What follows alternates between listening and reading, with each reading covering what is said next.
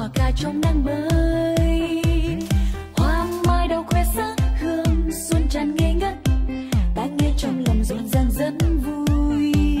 Xuân cho mùa xanh lá còn tình bình yên quá, phương xa người về quê đón tết.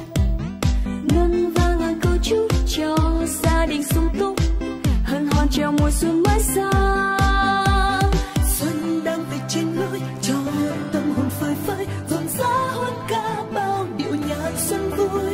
ô kia mùa xuân đơm hoa nụ cây trái.